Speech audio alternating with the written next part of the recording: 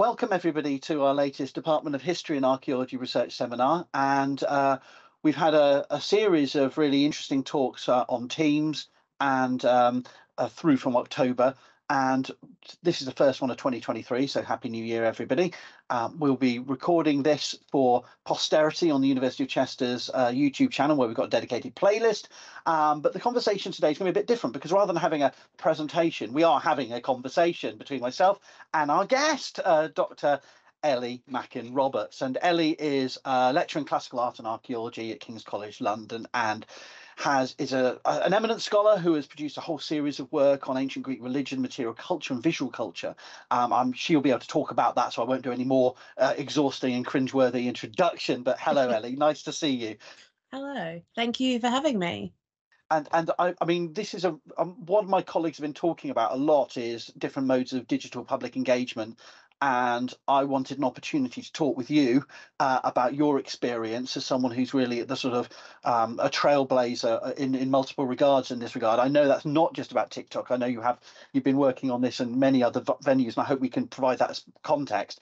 But uh, if I may just say as a word of introduction, I want you to lead on a lot of this. So, uh, but I, I won't leave you alone because I, I, I, hopefully we can have sort of a chat about various things. But I, I thought, I suppose my thinking about why to have this now within this research seminar series is because um, so many of my colleagues across disciplines at the University of Chester have been discussing um, using social media. Uh, others don't at all.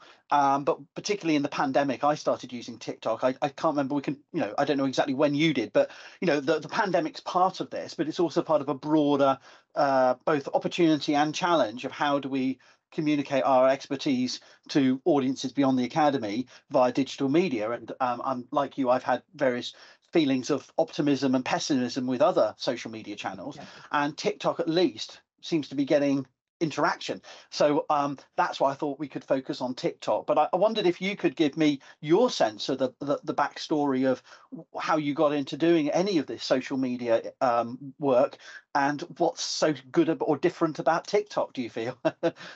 Um, well, I also started doing TikTok in the middle of the pandemic.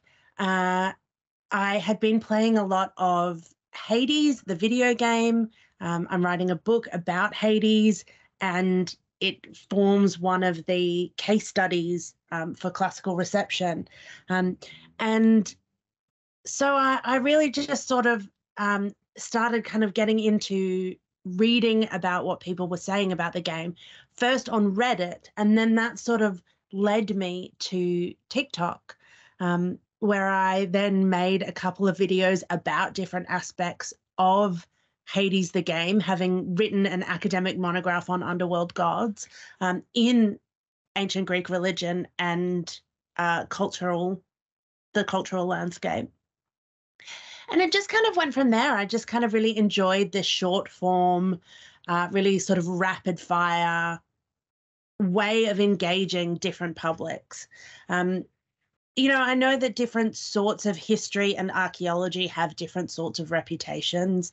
And I work in a classics department. I have three classics degrees. Classics is an exceptionally elitist and gatekeepy discipline. Um, and that a lot of that is changing. And I, you know, I feel really aware of the fact um, that because I work in uh, in a field that's very elitist, that's very kind of this has this reputation, and in a department which is one of the top classics departments in the country. Yes. Uh, that which is very focused on engaging traditionally underrepresented students. Um, I, I don't, I didn't kind of feel like the work that was being done on Twitter and those sorts of other social media sites was actually kind of cutting through to the the the people that we want to be engaging with, which is not only students from traditionally underrepresented backgrounds, which obviously is about the health of the discipline um, and all of that sort of stuff, uh, but also just a general public who are engaged in the ancient world, in archaeology, in ancient history, and are tend to be like actually very receptive to learning about new research. Yeah, um, that you know it, it can be very easy to think that I, you must find this as well howard with the vikings that people think because they've watched you know in my case mary beard or michael scott and the bbc yeah. that all of these things are settled yeah. and i think they get very excited about learning that a lot of these debates aren't settled and they are ongoing.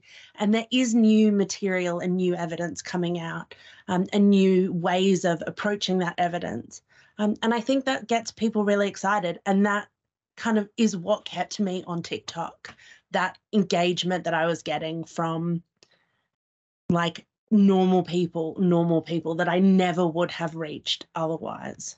I mean, I felt that too. That a lot of other social media activities. I, I mean, I, I have presence on other um, social media platforms, but um, I did my blog from 2013, so 10, coming up to nine and a half years of blogging and then sharing that through Facebook and Twitter mainly. Although I've, I've had various stop starts with Instagram and, and I tried Tumblr and no, that was it was a desert for me. I couldn't find anything and and I haven't done anything on Reddit or anything like. I haven't even engaged on that. But you know, we have our different platforms. But I found there was so all I got was grief from certain other platforms or or people who already know the stuff and are yeah. agreeing with me and while there are general publics out there, I think there's a good 20, 30 people on Twitter who are not academics professionals who interact at some point. Twitter, uh, TikTok seemed was very quickly a different world. I, I, I found the, the nature of the algorithm, while a curse, and we curse it all the time about how some things go you know far and other things we put a lot of effort into just disappear into nowhere it's, it's incredibly yeah. frustrating but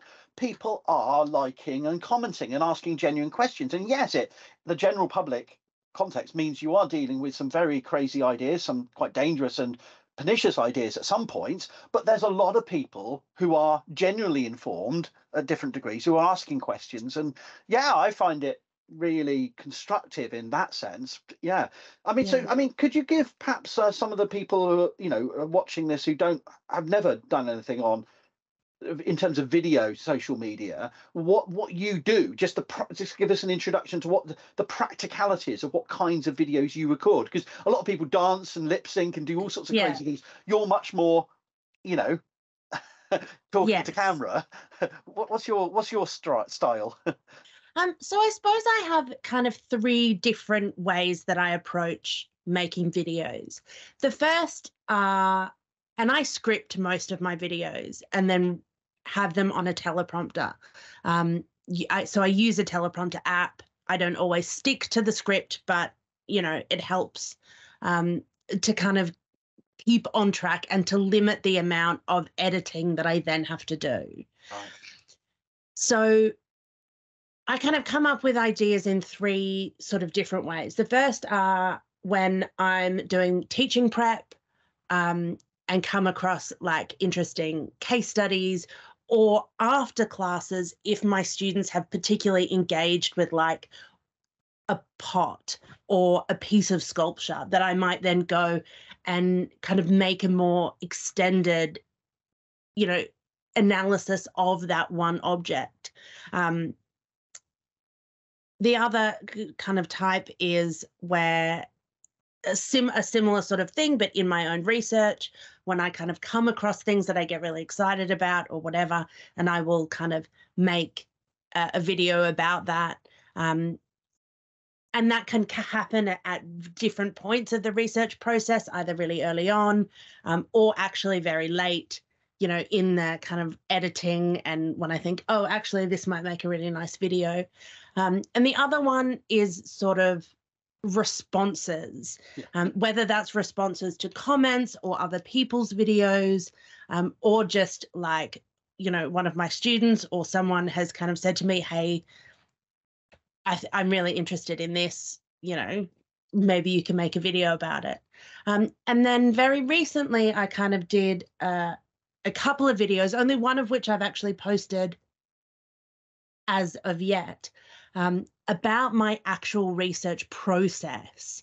Yes. Uh, so I posted I a video of going um, to see the sculptures in the British Museum that I had identified on a plan for uh, a publication that I'm working on, um, or a, a, manuscript, I should say, that I'm working on. Um, so yeah, they're sort of the main types, and mainly I do script my videos. Um, I think it helps me to be more precise and more succinct um, to do it that way. I know that not everybody does. And it also cuts down on the time that I spend recording and re-recording. And like I like you, Howard, I do this in addition to my full-time workload. Like this is not accounted for in my workload model. No, of course not. So, you know, anything that I can do to kind of replicate work. Um, so with teaching prep or with research into to TikTok, um, or to kind of cut down the amount of time that I have to spend on recording uh, or editing, um, doing all the captions and all that sort of stuff. It is a time-consuming process, isn't it? I, I, I, did, I kind of guessed you did some kind of teleprompting because you're you're really fast and articulate and clear in a way that only a few people are on. And I go, God, that's so good. How did you pack so much in? And uh, you know, I, I kind of guessed you had a you know, put i mean you put a lot of time it's a lot of people need to know this it's a lot of time and I, while I don't do that, there have been hours that have gone by where a video has suddenly been uploading and disappeared off my phone. There's been some tech issue, or and, and it just hasn't even saved to drafts. And I, you know, you sort of you know, crying yeah. a cup of tea or whatever other drink is available.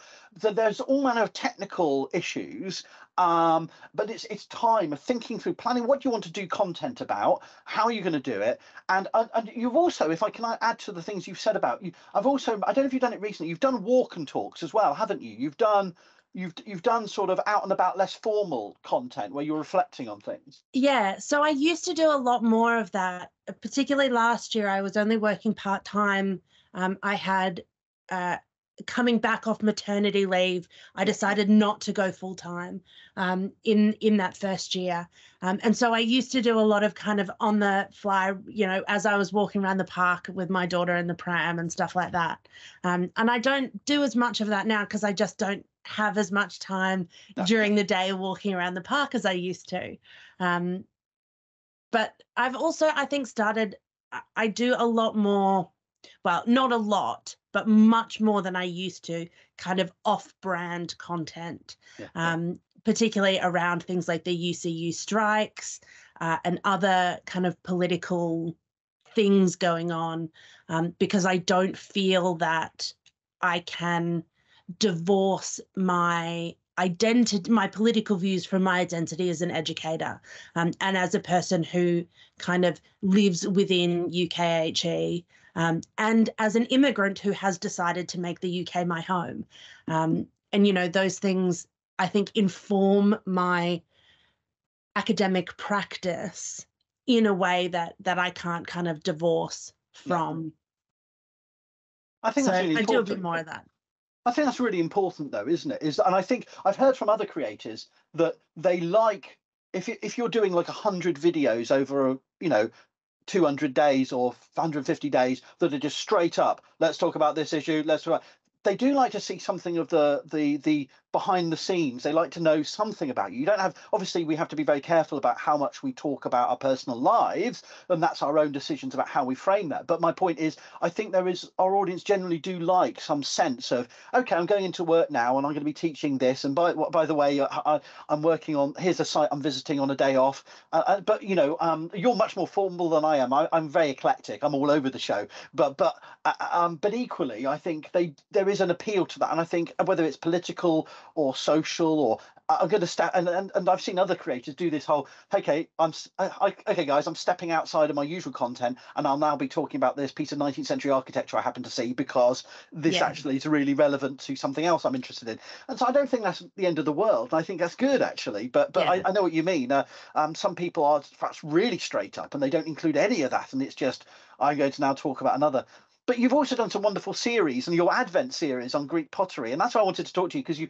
you're dealing with material culture, you're dealing yes. with art, you know, and you had a, a, pot per day, wasn't it? For like how many? Yes, so I did um 24 from the first to the 24th. Every day spoke about uh, a pot, um, except for one day in which I spoke about um uh, uh black groundware, which is essentially like all pots that aren't decorated, like normal everyday pots that tend to just be black slipped um, and are just the regular pots that people have in their homes. And they, I don't think, get enough love because everybody wants to see like the big, flashy, painted, you know, Panathenaic prize amphorae. Um, that was, I wish I had planned that series slightly better. Um, and I think I will do something similar again um, and make it much more planned in advance because um, I knew pretty much all the pots that I wanted to talk about roughly, um, but I was sort of making them uh, only a day in advance. Uh, and I kind of wish that I had filmed them all in advance and then wasn't kind of on Christmas Eve in my parents in law's, you know, living room, like filming about a pot. Um, but I really enjoyed doing that series. I really love, uh, you know, coming from a very hard classics background um, and working in a classics department um, now. And I used to work uh, in the archaeology department at the University of Leicester, so I kind of have that that more uh, grounded archaeology department kind of um, dirty experience, if I kind of may say you know yeah. you know what i mean yes um and it i i really struggle sometimes to articulate my identity as a, a ancient historian who works on material culture and is predominantly about material culture um, in my research and definitely in my teaching uh, with kind of the classics part of that um, and i think that's also one of the reasons that TikTok is great because, you know, you can do here's one thing, one pot. It's incredible, and this is why. And come back tomorrow, and I'll talk to you about another pot. Um, so, yeah. So in one to three minutes, we can go longer up to 10 minutes for people who don't know, but most people go for one to three minutes. You you you know, I think a lot of people feel frozen by fear. They've got to try and pack everything in. But if you create a series, which you can link to a playlist, or you just simply say, well, here's an example, yeah. here's seven books. You've also do these wonderful, like, here's 18 books. I, I, I, love those where you do sort of, here's five books that are on this. And you, you also, and, and, and also, I love the ones where you went to the Parthenon itself, didn't you? You actually went to Athens and you, yeah, you, you took us around, it, you know, on, you, uh, one of the things I wanted to ask about that is because um, I've tried to do like site, I do a lot of site visit ones, but no one cares. I can literally show evidence of the first ever whatever it may be pyramid or the the most unique ever medieval castle and everyone it's a really low interaction uh, because they like it's it's it's seeing you doing it is what they yeah. people like um do you, what was your reaction to the different styles you've adopted what works and what hasn't worked in terms of uh, of being out and about versus in a museum versus but with a bookcase. um, I think the in general the ones that do the worst for me are the ones in museums. Right, that's interesting. Which I don't know, like sometimes I get really frustrated because they seem to do really well for other people. Yeah, and people sort of saying, "Hey, an object," and see that's it, and yeah, millions of views, you know. Or and you're like, but ah, um, the when I was in when I was in Athens what, a year and a half ago, I was on a research trip, and it was a really frustrating experience because I had this money to go on this research trip. I couldn't because of the pandemic. Suddenly I could. I had to take my infant because otherwise I couldn't go. So I had to cut down a lot of what I was going to do. Yeah. Um, and so I decided to to make these sort of on-site videos, um, and I really just did them on the fly. I didn't plan them at all. They were just like, oh yeah, this is a thing that I'm kind of have just read the plaque on and and here we go. Or oh, you know, particularly things around like uh, the tholos and stuff in the amphora, um, not the amphora, the agora.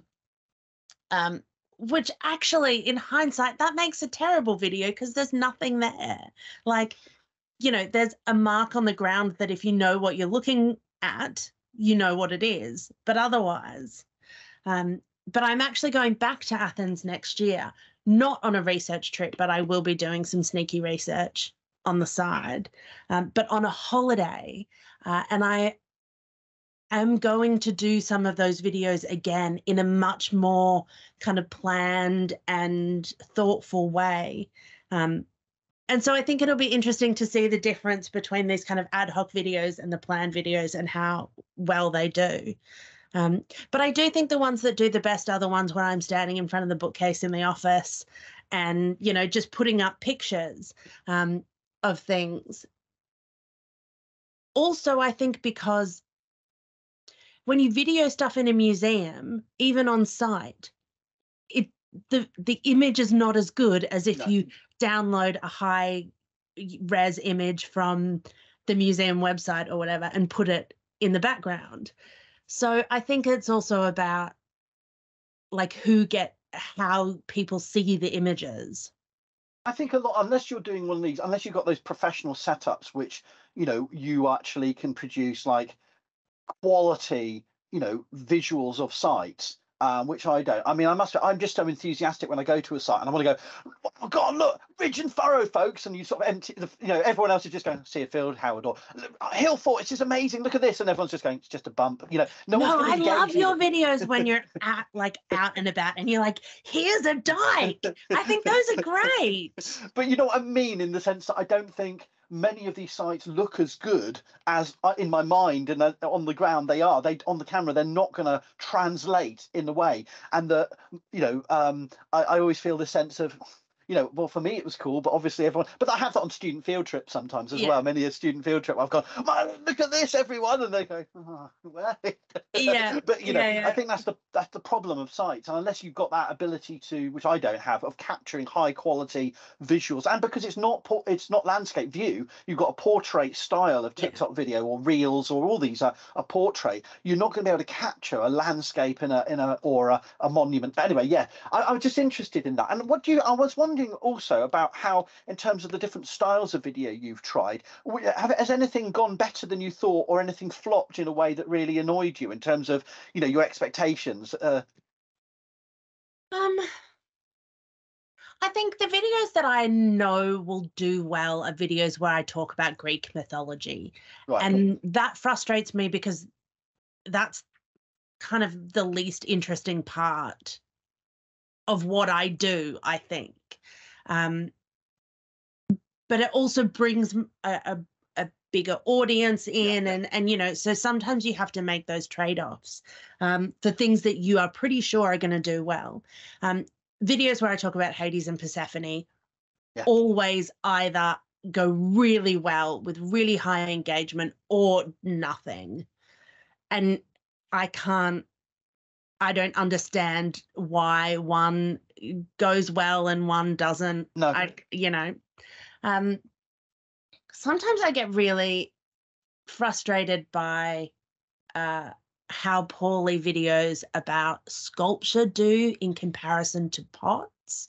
Um, yeah, I would thought which, the other way around. Yeah, yeah, I kind of did too, but all uh, like generally across the board um, sculpture does worse than pots. Do you think it's because people? Do you think? I mean, I'm interested. I just thought of this. I haven't really th- planned question at all, but I wonder whether is a lot of it is is TikTok is a bit in subversive in that people know what is the classic standard content, and they're they they attracted to the things they know are a little humble, a little less glitzy, a little less standard. Uh, do you think that's true, or is that me just hope being hopeful that people get that? I don't know. I mean, it's certainly an interesting. I think, I mean, there's, I think something about the way that the images translate, like black and red figure imagery is very easy to see on a screen, even if the image is not.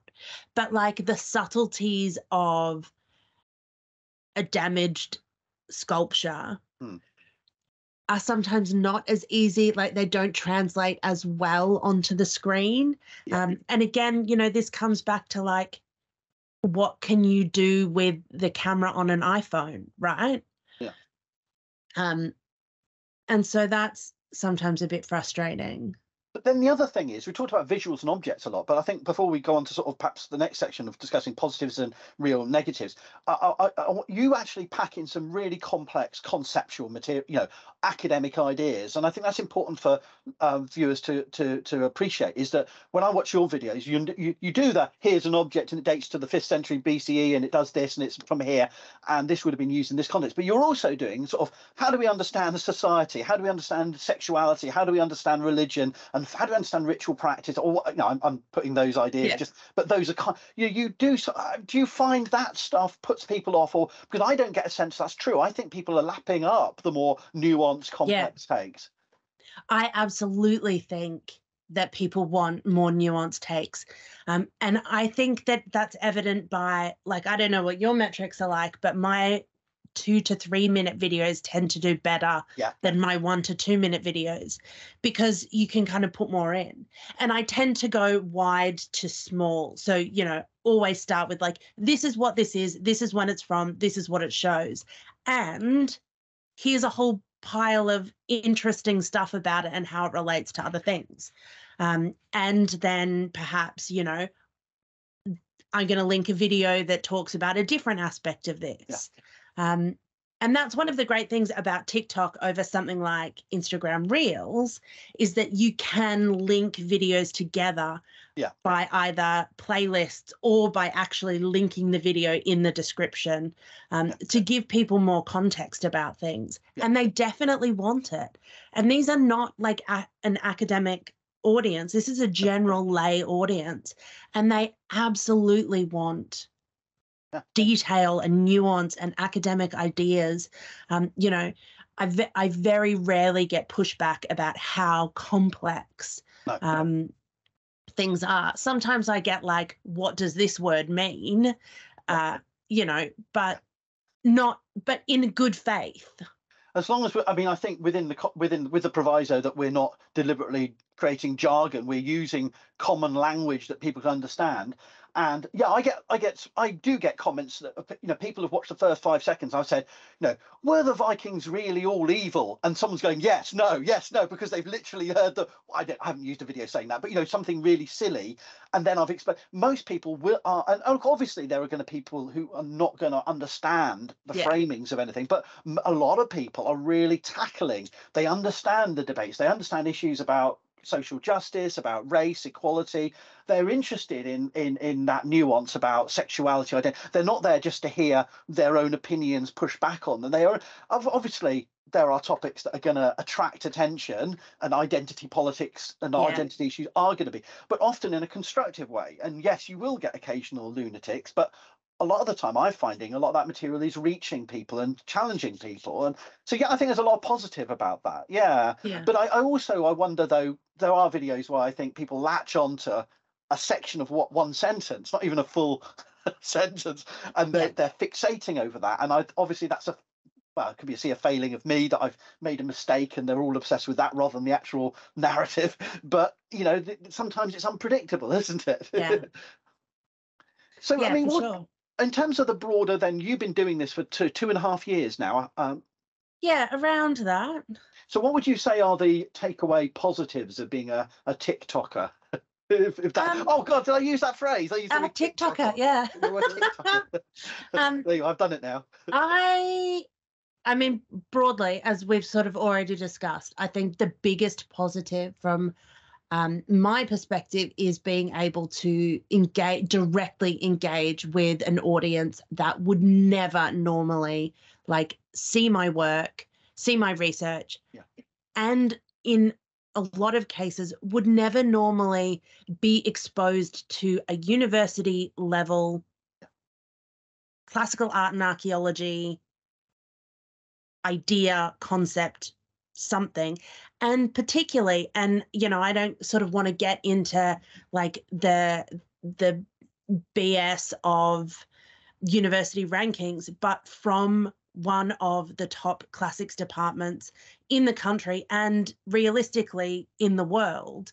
Um, you know, we, as uh, our president loves to say, we won the REF in classics. Um, won the REF, my word. no comment. yeah, indeed, indeed. Um, but you know, this is it is a big deal, and I do get. Good. Yeah. You know, I get a lot of um, DMs and emails from students uh, who want to go into classics, who have who their schools have no classics or archaeology or um, you know pathways into these humanities degrees um, at GCSE or A level, um, and being able to kind of you know give those people something to talk about in their personal statements is really you know heartening um, for me as an academic, as someone who cares deeply about my discipline and the health of my discipline, um, and the health of the humanities more broadly Yes. um, in UK higher education and global higher education. Um, so that I think is the biggest positive for me. That's really great. That's. I mean, I, I, I, I sort of see it in the similar way, in the sense that I am reaching. I'm clearly reaching different audiences, and I think there's a, you know, a, a sense of responsibility of public engagement, and also, uh, but I also have to say more selfishly, I find it fun, and I also find it actually testing. It's testing me to address subjects I wouldn't normally address. I address them maybe in a group of students, but I know it's not going anywhere. But to push myself to read the latest articles that I wouldn't, I'd put probably put on the back. I'll, I'll get to that next year when I'm working on that issue. So it's forcing me to engage with my academic discipline in a, I think, in a way that perhaps I'm ashamed to say I sometimes shy away away from, but also to trying to communicate. So I'm training on it. So I, I, I- must admit, I don't know if that's more selfish or more in, introvert, but certainly more.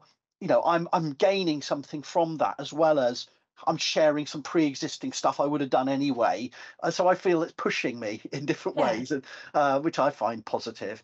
I mean, but what, what I mean, what would you say about more negative or less sh- less shiny positive? you know, I don't know how you want to frame it. Uh, Um, you- I mean, just very quickly to go back to the positives, I do find it fun. I wouldn't do it if it wasn't fun, you know. yeah, Um, sure. negatives. I mean, I I think I had become a little bit um complacent, I guess, or or mm, not complacent, um desensitized um to some of the more negative aspects. And it wasn't until I was uh, having a conversation with my husband in which I casually mentioned that I have comment moderated uh both my daughter's names, the road that we live in, and my postcode. Um, and he was like, Why would you do that? Like, because if people comment them, it won't, it will go through to moderate, like, they won't be posted. And that, his reaction to that did kind of like bring me back to, you know, um, particularly when I set these up, I'd made a series of videos about um, the very, very problematic, racist, colonialist her- past that classics as a discipline Yeah. has. Um, it ended up on libs of TikTok, and you know it could have been a lot worse. yeah. Um, but you know, as they say, I definitely ended up on the wrong side of TikTok, um, and have done a couple of times. Yeah. Um, so that I guess I mean is a massive negative. Um, I don't get that bothered by like the mansplaining and the people who come up in my comments and are like, you know, you're wrong about whatever. Um, or you're not a very good historian, or I'd never take a class with you. Um, and I kind of like, well, if you came and worked in my department, like if you were a student in my department, then you wouldn't have a choice. You'd take classes with me or you'd leave. Like you don't have to watch my videos. Um, so I have a kind of very purposefully cultivated a an attitude of ambivalence towards people who actively don't like me um, online and especially on TikTok. I find it much worse on TikTok than on any other social media. Um, so yeah, that is, I guess, the biggest negative.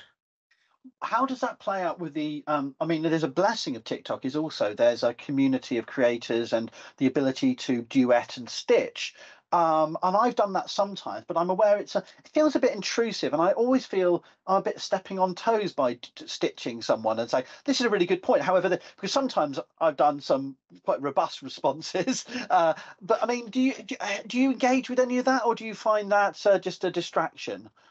Um, I don't do a lot of stitching and duets. Um,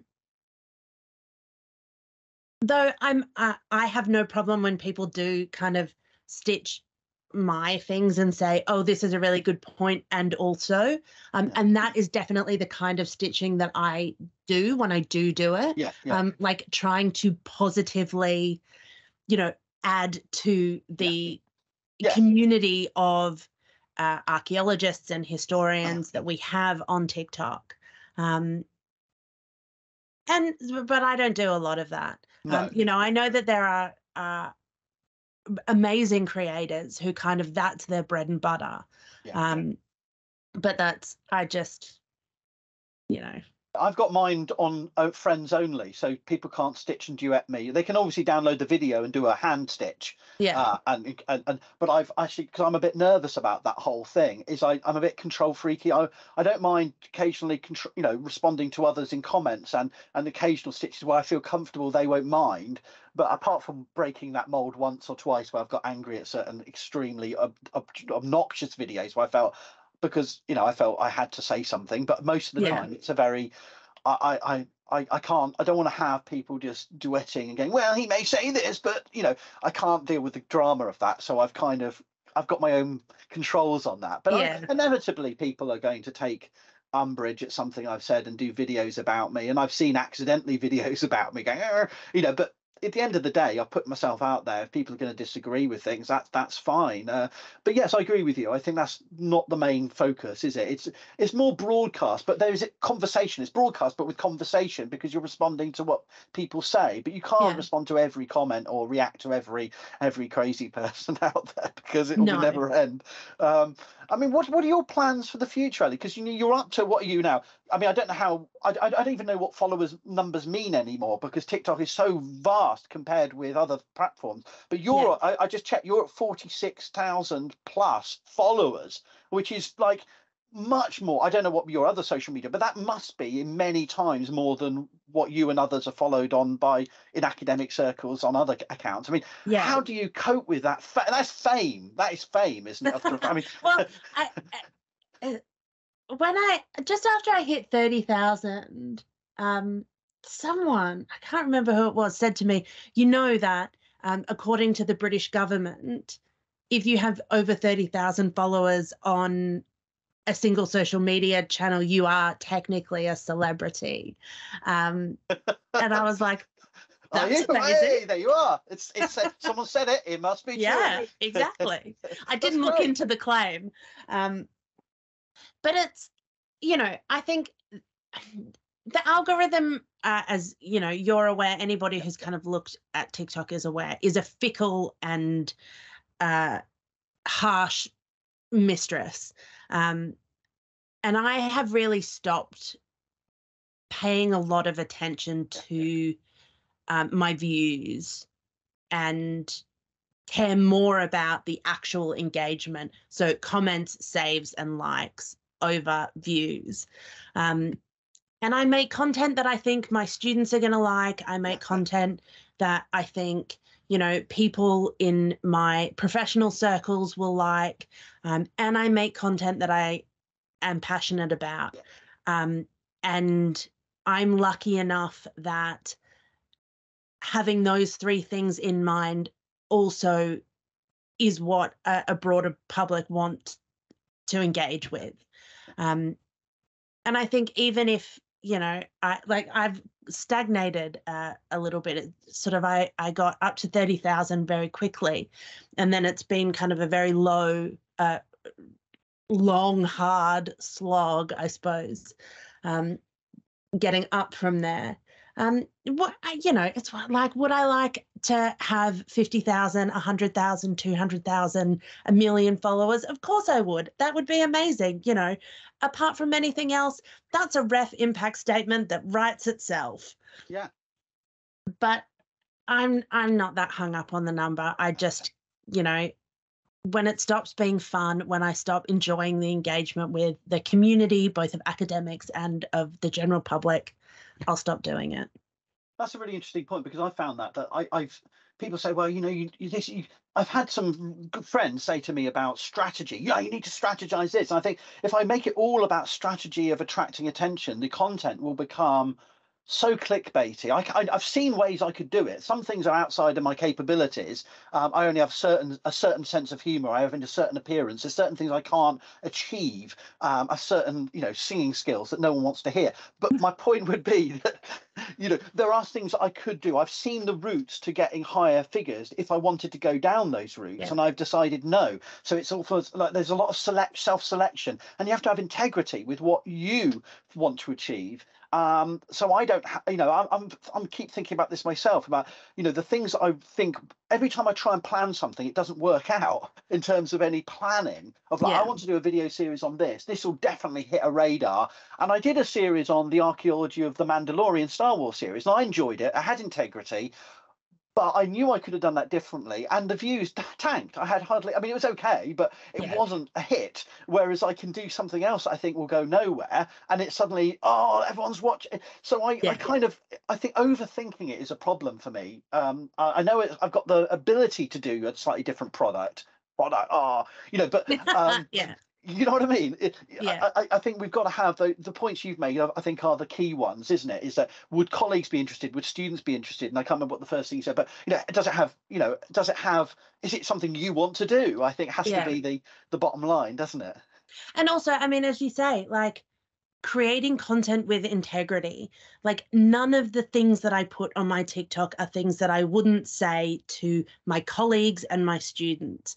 Like I feel that I have a responsibility as an academic who is presenting myself in my professional persona yeah. to be true to the evidence that's there, to not over sensationalize. Yeah. Like, you know, and you could very easily, like, super easily make very sensationalized things.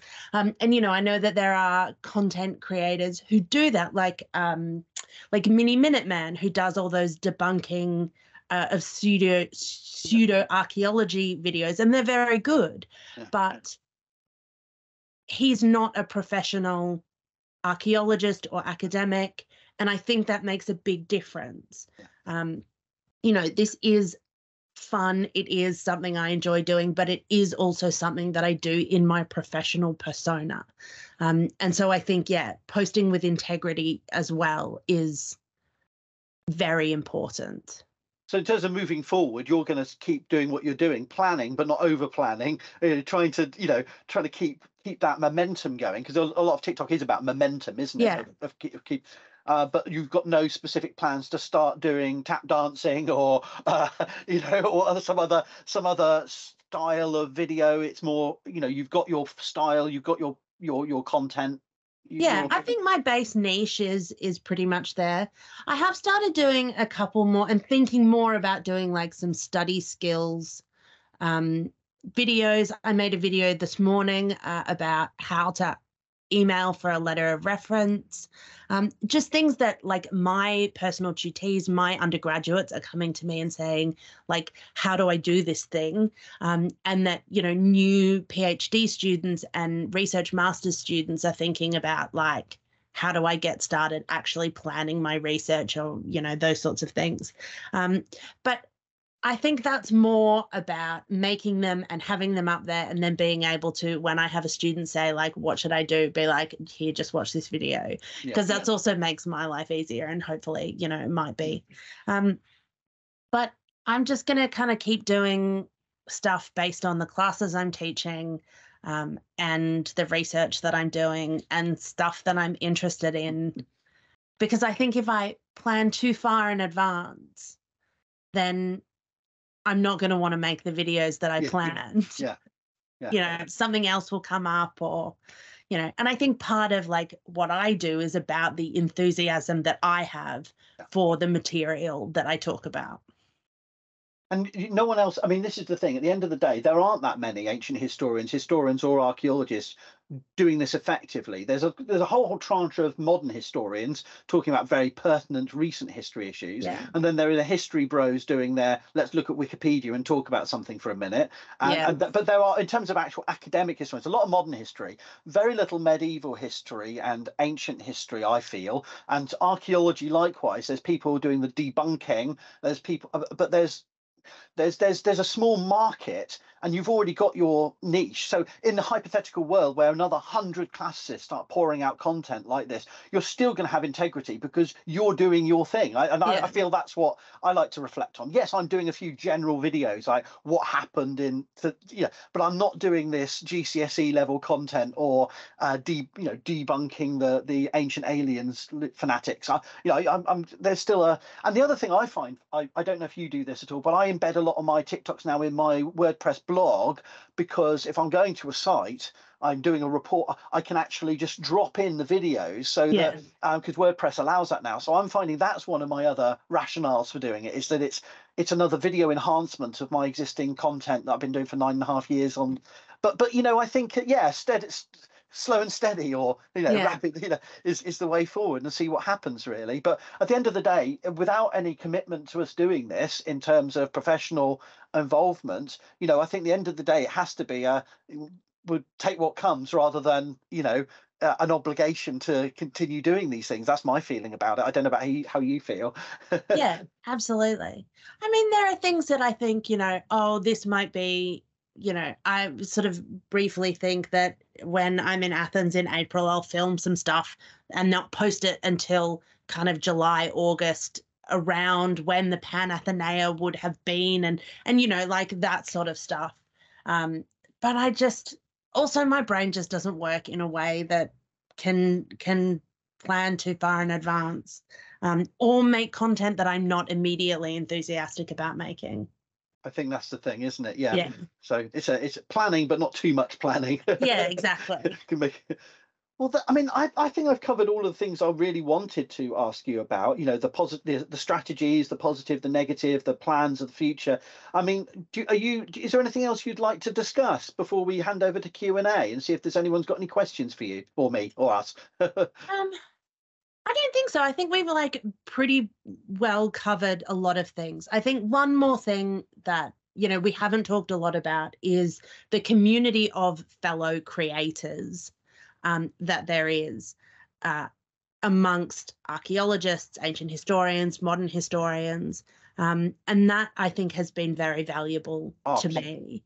Um, not just because you know sometimes it when you're having an issue with like TikTok itself or with making content, it's easy to just throw up a friends only video to mutuals to say, are your views also trash at the moment? Um, and so, yeah, I, re- I do really value the community of content creators within sort of broadly history and archaeology that I have managed to kind of, you know, find. and I've, I found that really valuable because I mean, there's people there that I'm sure on other social media platforms I wouldn't be interested in their content, but the style of content, I'm, I'm a consumer of this.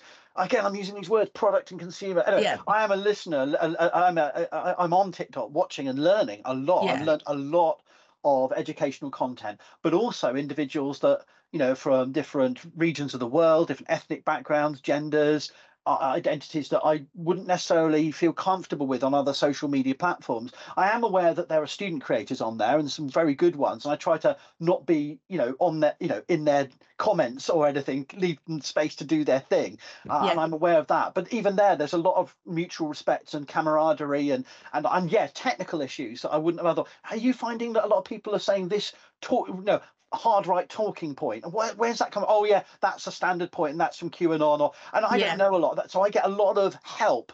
Knowing why people are using these silly rhetorical tactics. You know, Yeah. and so yeah, I, I think that's really really important. And uh, yeah, there's not enough of us, but there are uh, there is a substantial number of people doing really exciting things. I'm learning a heck of a lot about you know ancient ancient the ancient uh, uh, you know Mediterranean, for example. But not only just that, you know, lots of other things as well. Yeah. It's a um, it's a new world. I'm I'm you never stop learning, even at my age. You know? Indeed.